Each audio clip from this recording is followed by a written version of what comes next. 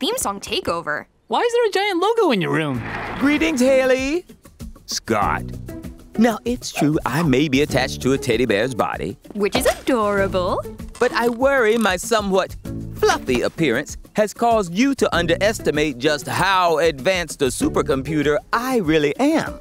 Really? How advanced are you, Beta? Scott, don't. He wants you to. Well, thank you for asking. To answer, I've prepared a humble presentation.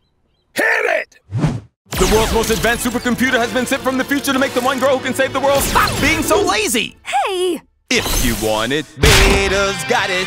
Processor speed faster than lightning. Memory so mighty, it's frightening. Knows when avocados are ripening. If you want it, Beta's got it. So much RAM, a sheep would be jealous. And what else? I'm sure that he'll tell us. But my inventor's overzealous? Cause if you ask, yeah, Beta's got it. You can't deny my Wi-Fi. I get more bars than a jail. That's a weird analogy. But if we want victory, you must listen to me and do everything on that list. Like giving Scott a big No! Big what?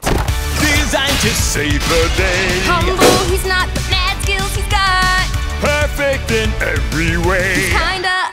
Kinda a pain, but we need his brain. Hailey, I know that you can be great if you just do what I calculate.